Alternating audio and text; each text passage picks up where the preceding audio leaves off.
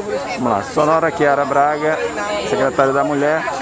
O, eu estou vendo assim que vocês estão tentando mobilizar cada, em cada polo, né? Ou seja, tentando mexer com as mulheres de cada polo. E assim, é, eu queria também que você destacasse se você pretende incrementar com mais ideias o programa PMM também, né? Com certeza, a gente está cheia de novas ideias, né? E uma delas é trazer é, novas formas de empoderar essas mulheres, não só focar a dança em si, mas também trazer outros trabalhos, outros serviços que possam beneficiar essas mulheres. Um exemplo é um atendimento nutricional, um atendimento psicossocial, orientações.